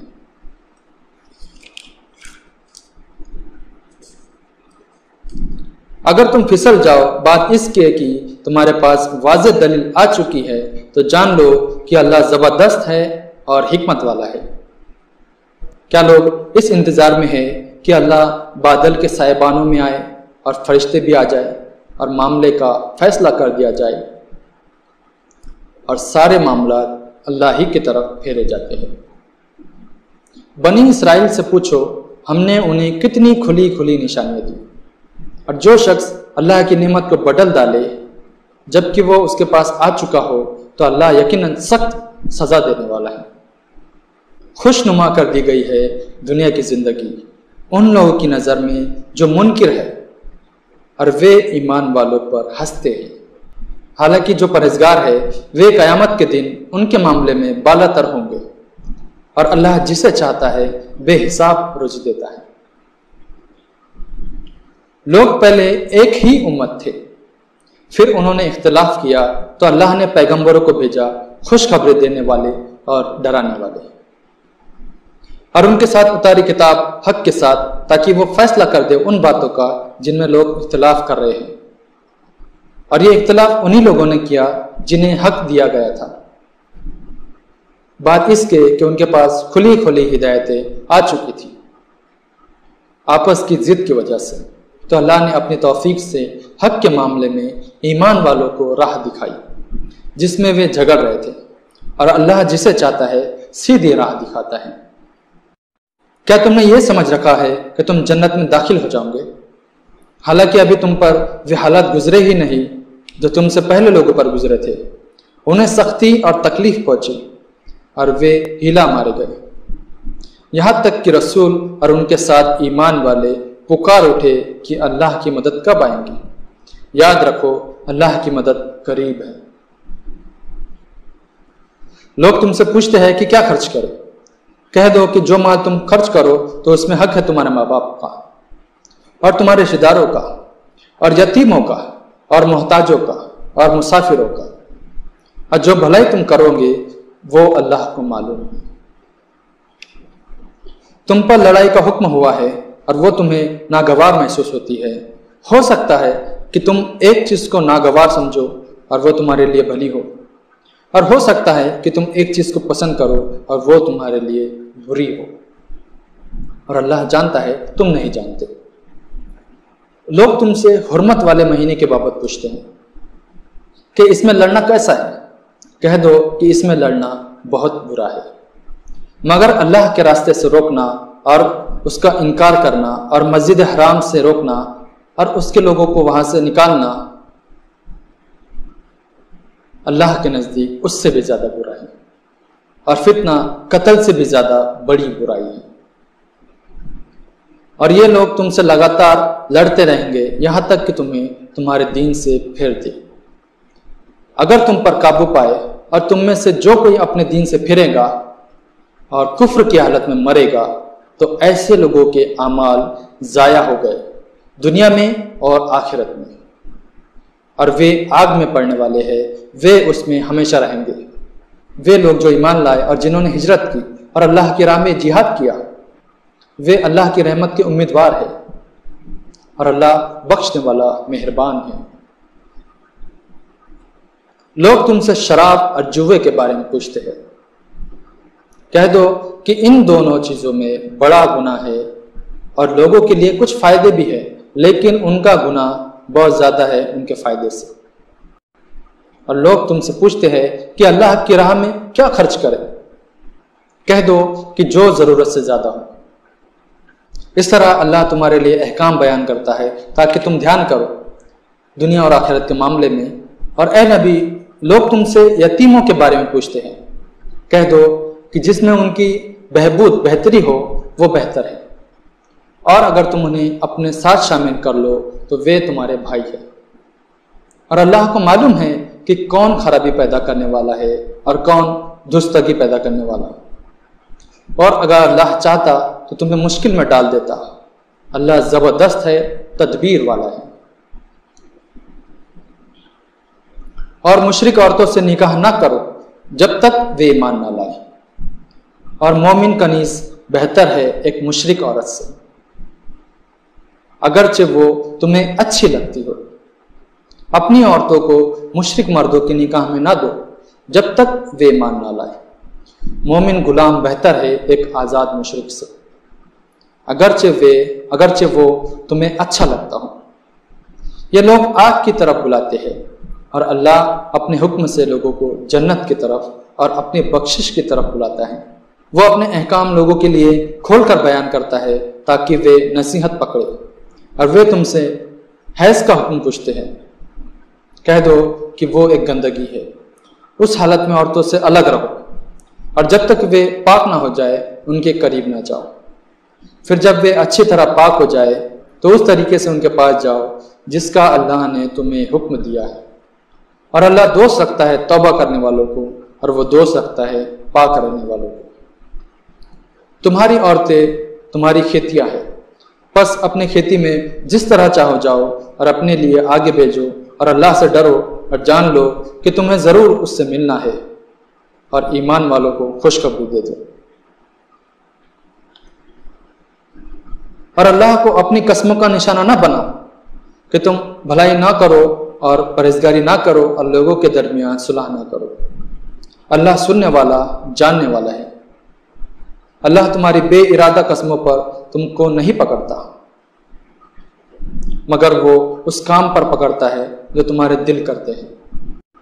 और अल्लाह बख्शने वाला तहमुल वाला है। जो लोग अपनी बीवियों से ना मिलने की कसम खा ले, उनके लिए चार महीने तक मोहलत है। फिर अगर वे रुजू कर ले तो अल्लाह माफ़ करने वाला मेहरबान है। और अगर वे तलाक का फैसला करे तो यकीनन अल्लाह सुनने वाला, जानने वाला है। और तलाक दी हुई औरतें अपने आप को तीन हैज़ तक रोक के रखें। और अगर वे अल्लाह और आखिरत के दिन पर ईमान रखती है तो उनके लिए जायज़ नहीं कि वे उस चीज़ को छुपाए जो अल्लाह ने पैदा किया है उनके पेट में। और इस दौरान में उनके शोहर उन्हें फिर लौटा लेने का हक रखते हैं। और अगर वे सुलह करना चाहे और दस्तूर के मुताबिक जिस तरह मर्दों के औरतों पर हकूक है, उसी तरह दस्तूर के मुताबिक औरतों के मर्दों पर हकूक है। और जिम्मेदारियाँ भी और मर्दों का उनके मुकाबले में कुछ दर्जा बड़ा हुआ है। और अल्लाह ज़बरदस्त है, तदबीर वाला है। तलाक दो बार है। फिर या तो कायदे के मुताबिक रख लेना है, या खुश उसूलबी के साथ रुख्सत कर देना। और तुम्हारे लिए यह बात जायज़ नहीं कि तुमने जो कुछ इन औरतों को दिया है, उसमें से कुछ ले लो। मगर यह कि दोनों को डर हो कि वे अल्लाह की हदों पर कायम ना रह सकेंगे। फिर अगर तुम्हें यह डर हो कि दोनों अल्लाह की हदों पर कायम ना रह सकेंगे तो दोनों पर गुना नहीं। उस माल में से जो औरत फिदिये में दे। यह अल्लाह की हद है तो इससे बाहर ना निकलो। और जो शख्स अल्लाह की हदों से निकल जाए तो वही लोग जालिम हैं। फिर अगर वो उसे तलाक दे दे तो उसके बाद वो औरत उसके लिए हलाल नहीं। जब तक कि वो किसी दूसरे मर्द से निकाह न करे। फिर अगर वो दूसरा मर्द उसे तलाक दे दे, तब गुनाह नहीं उन दोनों पर कि फिर मिल जाए। यानी पहले शोहर से निकाह कर ले। बशर्ते कि उन्हें अल्लाह की हदों पर कायम रहने की उम्मीद हो। ये खुदाबंदी हदें है जिन्हें वो बयान कर रहा है। उन लोगों के लिए जो दानिशमंद है। और जब तुम औरतों को तलाक दे दो और वे अपनी इद्दत तक पहुँच जाए तो उन्हें या तो कायदे के मुताबिक रख लो या कायदे के मुताबिक रुख्सत कर दो। और तकलीफ़ पहुँचाने की गरज से ना रोको, ताकि तुम उन पर ज्यादती करो। और जो ऐसा करेगा, उसने अपना ही बुरा किया। और अल्लाह की आयतों को खेल ना बनाओ, और याद करो, अपने ऊपर अल्लाह की नेमत को और उस किताब व हिकमत को, जो उसने तुम्हारी नसीहत के लिए उतारा है। और अल्लाह से डरो, और जान लो कि अल्लाह हर चीज़ को जानने वाला है। और जब तुम अपनी औरतों को तलाक दे दो और वे अपनी इद्दत पूरी कर ले तो उन्हें ना रोको कि वे अपने शोहरों से निकाह कर लें। यानी उन्हें दूसरा निकाह करने से ना रोको, जबकि वे दस्तूर के अनुसार आपस में राज़ी हो जाए। ये नसीहत की जाती है उस शख्स को जो तुम में से अल्लाह और आखिरत के दिन पर यकीन रखता हो। ये तुम्हारे लिए ज़्यादा पाकिजा और सुथरा तरीका है। और अल्लाह जानता है, तुम नहीं जानते। और माए अपने बच्चों को पूरे दो साल तक दूध पिलाए। यह नसीहत उन लोगों के लिए जो पूरी मुद्दत तक दूध पिलाना चाहते हो। और जिसका बच्चा है, उसके जिम्मे है उन माओ का खाना और कपड़ा दस्तूर के मुताबिक। किसी को हुक्म नहीं दिया जाता, मगर उसकी बर्दाश्त के मुआफिक। न किसी माँ को उसके बच्चे के सबब से तकलीफ़ दी जाए और न किसी बाप को उसके बच्चे के सबब से तकलीफ़ दी जाए। और यही ज़िम्मेदारी वारिस पर भी है। फिर अगर दोनों आपसी रजामंदी और मशवरे से दूध छुड़ाना चाहे तो दोनों पर कोई गुना नहीं। और अगर तुम चाहो कि अपने बच्चों को किसी और औरत से दूध पिलवाओ, तब भी तुम पर कोई गुना नहीं। बशर्ते कि तुम कायदे के मुताबिक वो अदा कर दो, जो तुमने उन्हें ठहराया था। और अल्लाह से डरो। और जान लो कि जो कुछ तुम करते हो, अल्लाह उसे देख रहा है। और तुम में से जो लोग मर जाए और बीवियाँ छोड़ जाए, वे बीवियाँ अपने आप को चार महीने, दस दिन तक इंतज़ार में रखे। फिर जब वे अपनी मुद्दत को पहुँचे तो जो कुछ वे अपने बारे में कायदे के मुआफिक करे, उसका तुम पर कोई गुनाह नहीं। और अल्लाह तुम्हारे कामों से पूरी तरह बाखबर है। और तुम्हारे लिए इस बात में कोई गुनाह नहीं कि इन औरतों को पैगाम देने में कोई बात इशारे से कहो या अपने दिल में छुपाए रखो। अल्लाह को मालूम है कि तुम ज़रूर इस बारे में उनका ध्यान करोगे। मगर छुप कर उनसे वादा ना करो। तुम उनसे सिर्फ़ दस्तूर के मुताबिक कोई बात कह सकते हो। और निकाह का इरादा उस वक्त तक ना करो जब तक निर्धारित मुद्दत पूरी ना हो जाए। और जान लो कि अल्लाह जानता है जो कुछ तुम्हारे दिलों में है। बस उससे डरो और जान लो कि अल्लाह बख्शने वाला तहमल वाला है। अगर तुम औरतों को ऐसी हालत में तलाक दो कि ना उन्हें तुमने हाथ लगाया और ना उनके लिए कुछ महर मुकर किया तो उनके महर का तुम पर कुछ मुआवजा नहीं। अलबत्ता उन्हें दस्तूर के मुताबिक कुछ सामान दे दो। वसअत वाले पर अपनी हैसियत के मुताबिक है और तंगी वाले पर अपनी हैसियत के मुताबिक। ये नेकी करने वालों पर लाजिम है। और अगर तुम उन्हें तलाक दो, इससे पहले कि उन्हें हाथ लगाओ, और तुम उनके लिए कुछ महर भी मुकर कर चुके थे, जितना महर तुमने मुकर किया हो, उसका आधा अदा करो। यह और बात है कि वे माफ़ कर दे, या वो माफ़ कर दे, जिसके हाथ में निकाह की ग्रह है। और तुम्हारा माफ़ कर देना ज़्यादा करीब है तकवा से। और आपस में एहसान करने से गफलत मत करो। जो कुछ तुम करते हो, अल्लाह उसे देख रहा है। पाबंदी करो नमाज़ की और पाबंदी करो बीच की नमाज़ की। और खड़े होकर अल्लाह के सामने आजिज बनो। अगर तुम्हें अंदेशा हो तो पैदल या सवारी पर जिस तरह मुमकिन हो नमाज़ पढ़ लो। फिर जब अमन की हालत आ जाए तो अल्लाह को उस तरीके से याद करो, जो उसने तुम्हें सिखाया है, जिसे तुम नहीं जानते थे। और तुम में से जो लोग वफात पा जाए और बीवियाँ छोड़ रहे हो, वे अपनी बीवियों के बारे में वसीयत कर दे कि एक साल तक उन्हें घर में रखकर खर्च दिया जाए। फिर अगर वे खुद से घर छोड़ दे तो जो कुछ वे अपने मामले में दस्तूर के मुताबिक करे, उसका तुम पर कोई इल्ज़ाम नहीं। अल्लाह ज़बरदस्त है, हिकमत वाला है। और तलाक दी हुई औरतों को भी दस्तूर के मुताबिक खर्च देना है। ये लाजिम है परहेजगारों के लिए। इस तरह अल्लाह तुम्हारे लिए अपने अहकाम खोल कर बयान करता है ताकि तुम समझो। क्या तुमने उन लोगों को नहीं देखा जो अपने घरों से भाग खड़े हुए मौत के डर से? और वे हज़ारों की तादाद में थे। तो अल्लाह ने उनसे कहा कि मर जाओ। फिर अल्लाह ने उन्हें ज़िंदा किया। बेशक अल्लाह लोगों पर फजल करने वाला है। मगर अक्सर लोग शुक्र नहीं करते। और अल्लाह के राह में लड़ो और जान लो कि अल्लाह सुनने वाला, जानने वाला है। कौन है जो अल्लाह को कर्ज हंसना अच्छा कर्ज दे? कि अल्लाह उसे बढ़ाकर उसके लिए कई गुना कर दे। और अल्लाह ही तंगी भी पैदा करता है और कुशादगी भी। और तुम सब उसी के तरफ़ लौटाए जाओगे। क्या तुमने बनी इसराइल के सरदारों को नहीं देखा? मूसा के बाद जबकि उन्होंने अपने नबी से कहा, हमारे लिए एक बादशाह मुकर्र कर दीजिए, ताकि हम अल्लाह की राह में लड़े।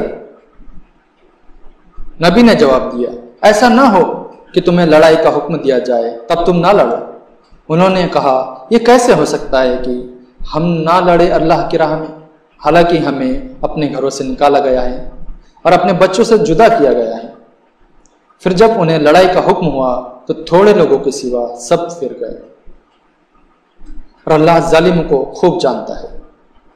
और उनके नबी ने उनसे कहा, अल्लाह ने तालूत को तुम्हारे लिए बादशाह मुकर किया है। उन्होंने कहा, कि उसे हमारे ऊपर बादशाही कैसे मिल सकती है? हालाँकि उसके मुकाबले में हम बादशाही के ज़्यादा हकदार हैं। और उसे ज़्यादा और उसे ज़्यादा दौलत भी हासिल नहीं। नबी ने कहा, अल्लाह ने तुम्हारे मुकाबले में उसे चुना है। और इल्म और जिस्म में उसे ज्यादती दी है। और अल्लाह अपनी सल्तनत जिसे चाहता है, देता है। अल्लाह बड़ी वसअत वाला, जानने वाला है। और उनके नबी ने उनसे कहा कि तालूद के बादशाह होने की निशानी यह है कि तुम्हारे पास वो संदूक आ जाएगा, जिसमें तुम्हारे रब की तरफ़ से तुम्हारे लिए तस्कीन है। और मूसा के खानदान और हारून के खानदान की छोड़ी हुई यादगारें है। और उस संदूक को फरिश्ते ले आएँगे, जिसमें तुम्हारे लिए बड़ी निशानी है। अगर तुम यकीन रखने वाले हो। फिर जब तालूद फौजों को लेकर चला तो उसने कहा, अल्लाह तुम्हें एक नदी के ज़रिए आजमाने वाला है। पर जिसने उसका पानी पिया, वो मेरा साथी नहीं। और जिसने उसे ना चखा, वो मेरा साथी है। मगर ये कि कोई अपने हाथ से एक चुल्लू भर ले तो उसमें हर्ज नहीं। तो उन्होंने उसमें से खूब पिया सिवाय थोड़े आदमियों के। फिर जब तालूद और जो उसके साथ ईमान पर कायम रहे थे, दरिया पार कर चुके तो वे लोग जिन्होंने उस नहर से खूब पानी पिया था, बोले कि आज हमें जालूद और उसकी फौजों से लड़ने की ताकत नहीं।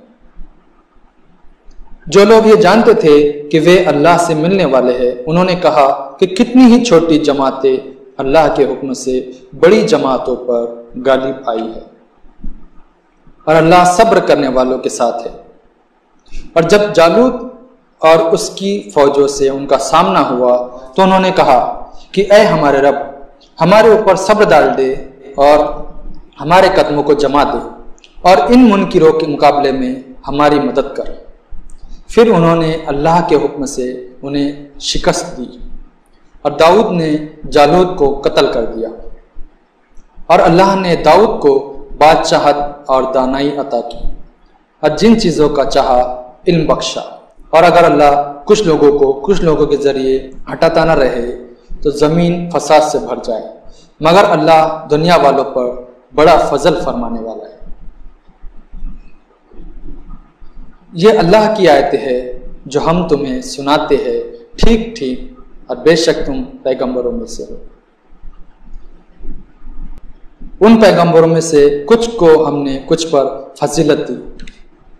इनमें से कुछ से अल्लाह ने कलाम किया और कुछ के दर्जे बुलंद किए। और हमने ईसा बिन मरियम को खुली निशानियाँ दी और हमने उसकी मदद की रूहुल कुदस से। अल्लाह अगर चाहता तो इनके बाद वाले साफ़ हुक्म आ जाने के बाद न लड़ते। मगर उन्होंने इख्तलाफ किया, फिर उनमें से कोई ईमान लाया और किसी ने इनकार किया। और अगर अल्लाह चाहता तो वे ना लड़ते, मगर अल्लाह करता है जो वो चाहता है। ऐ ईमान वालों, खर्च करो उन चीज़ों में से जो हमने तुम्हें दी है। उस दिन के आने से पहले जिसमें ना खरीदो फरोख्त है और ना दोस्ती है और ना सिफारिश है। और जो इनकार करने वाले हैं, वही जुल्म करने वाले हैं। अल्लाह, उसके सिवा कोई माबूद नहीं। वह ज़िंदा है, सबको थामने वाला। उसे ना ऊंग आती है और ना नींद। उसी का है जो कुछ आसमानों और ज़मीन में है। कौन है जो उसके पास उसकी इजाज़त के बगैर सिफारिश करे? वो जानता है जो कुछ उनके आगे है और जो कुछ उनके पीछे है। और वे उसके इल्म में से किसी चीज़ का इहाता नहीं कर सकते, मगर जो वो चाहे। उसकी हुकूमत आसमानों और ज़मीन में छाई हुई है। वो थकता नहीं इनके थामने से। और वही है बुलंद मर्तबा बड़ा। दिन के मामले में कोई ज़बरदस्ती नहीं। हिदायत गुमराही से अलग हो चुकी है। पर जो शख्स शैतान का इनकार करे और अल्लाह पर ईमान लाए, उसने मज़बूत हल्का पकड़ लिया। जो टूटने वाला नहीं और अल्लाह सुनने वाला, जानने वाला है। अल्लाह काम बनाने वाला है ईमान वालों के। वो उन्हें अंधेरों से निकालकर उजालों की तरफ़ लाता है। और जिन लोगों ने इनकार किया, उनके दोस्त शैतान हैं। वे उन्हें उजाले से निकालकर अंधेरे की तरफ़ ले जाते हैं। ये ये आग में जाने वाले लोग हैं। वे उसमें हमेशा रहेंगे। क्या तुमने उसे नहीं देखा, जिसने इब्राहिम से उसके रब के बारे में हुज्जत की? क्योंकि अल्लाह ने उसे सल्तनत दी थी। जब इब्राहिम ने कहा कि मेरा रब वो है जो ज़िंदगी और मौत देता है। वो बोला कि मैं भी ज़िंदगी और मौत देता हूँ। इब्राहिम ने कहा कि अल्लाह सूरज को पूर्व से निकालता है तो उसे पश्चिम से निकाल दे। तब वो मुनकिर हैरान रह गया और अल्लाह जालिमों को राह नहीं दिखाता। या जैसे वो शख्स जिसका गुजर एक बस्ती पर से हुआ। और वो अपनी छतों पर गिरी हुई थी। उसने कहा, तबाह हो जाने के बाद अल्लाह इस बस्ती को दोबारा कैसा ज़िंदा करेगा? फिर अल्लाह ने उस पर सौ वर्षों तक के लिए मौत तारी कर दी। फिर उसे उठाया। अल्लाह ने पूछा, तुम कितनी देर इस हालत में रहे? उसने कहा, एक दिन या एक दिन से कुछ कम? अल्लाह ने कहा, नहीं, बल्कि तुम सौ वर्ष रहे। अब तुम अपने खाने पीने की चीज़ों को देखो कि वे सड़ी नहीं है। और अपने गधे को देखो। हमने तुम्हारे साथ ये इसलिए किया ताकि हम तुम्हें लोगों के लिए एक निशानी बना दें। और हड्डियों की तरफ़ देखो, किस तरह हम उनका ढांचा खड़ा करते हैं। फिर उन पर गोश्त चढ़ाते हैं। बस जब उस पर वाजे हो गया तो उसने कहा, मैं जानता हूँ कि बेशक अल्लाह हर चीज़ पर कुदरत रखता है। और जब इब्राहिम ने कहा कि ए हमारे रब, मुझे दिखा दे कि तू मुर्दों को किस तरह ज़िंदा करेगा। अल्लाह ने कहा, क्या तुमने यकीन नहीं किया? इब्राहिम ने कहा, क्यों नहीं, मगर इसलिए कि मेरे दिल को तस्कीन हो जाए। फरमाया, तुम चार परिंदे लो, उन्हें अपने से हिला लो, यानी अपने से मानूस कर लो, फिर उनमें से हर एक को अलग अलग पहाड़ी पर रख दो, फिर उन्हें बुलाओ। वे तुम्हारे पास दौड़ते हुए चले आएँगे। और जान लो कि अल्लाह ज़बरदस्त है, हिकमत वाला है। जो लोग अपने माल अल्लाह की राह में खर्च करते हैं, उनकी मिसाल ऐसे है जैसे एक दाना हो जिससे सात बाले पैदा हो। हर बाली में सौ दाने हो और अल्लाह बढ़ाता है जिसके लिए चाहता है। और अल्लाह वसअत वाला, जानने वाला है। जो लोग अपने माल को अल्लाह की राह में खर्च करते हैं, फिर खर्च करने के बाद ना एहसान रखते हैं और ना तकलीफ़ पहुंचाते हैं। उनके लिए, उनके रब के पास उनका अज्र है। और उनके लिए ना कोई डर है, ना वे गमकीन होंगे। मुनासिब बात कह देना और दरगुजर करना उस सदके से बेहतर है जिसके पीछे सताना हो। और अल्लाह बेनियाज है तहमुल वाला है। ईमान वालों, एहसान रखकर और सता कर अपने सदके को जाया ना करो।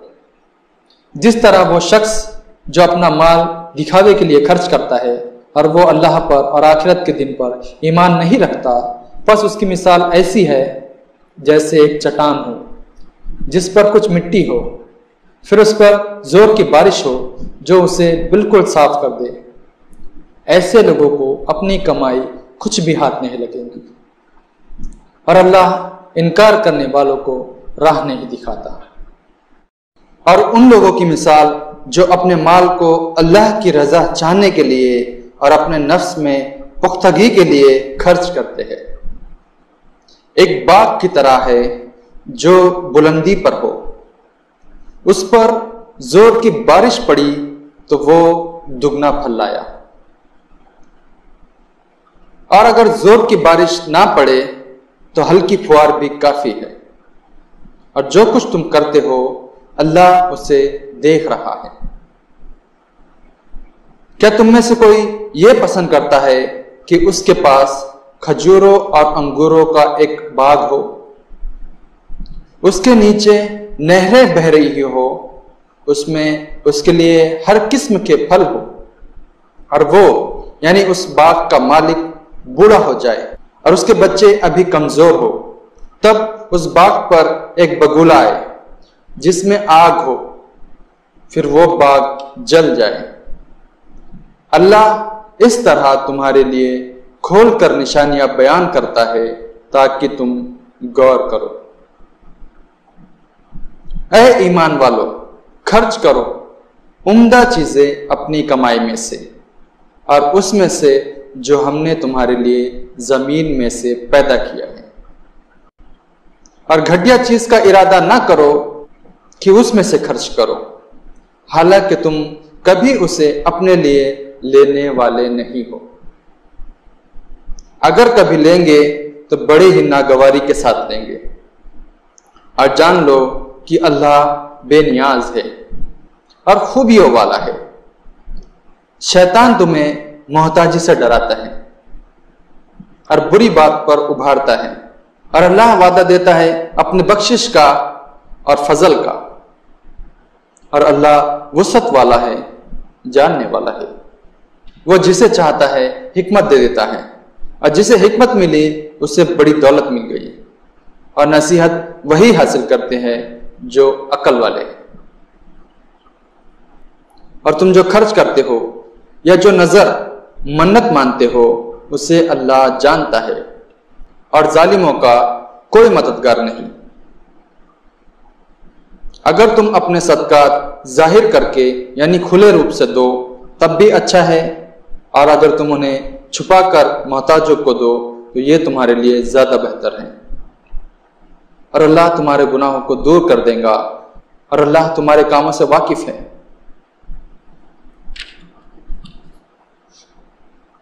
उन्हें हिदायत पर लाना तुम्हारा जिम्मा नहीं, बल्कि अल्लाह जिसे चाहता है हिदायत देता है।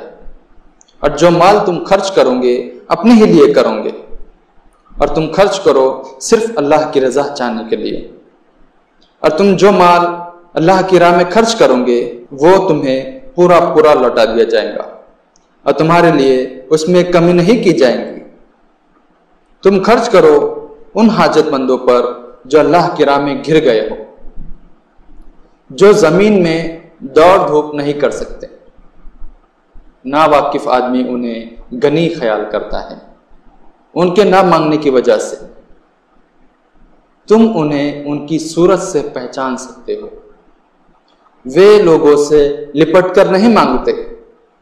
और जो माल तुम खर्च करोगे, वो अल्लाह को मालूम है। जो लोग अपने मालों को रात और दिन छुपे और खुले खर्च करते हैं, उनके लिए उनके रब के पास अज्र है और उनके लिए ना खौफ है और न वे गमकीन होंगे।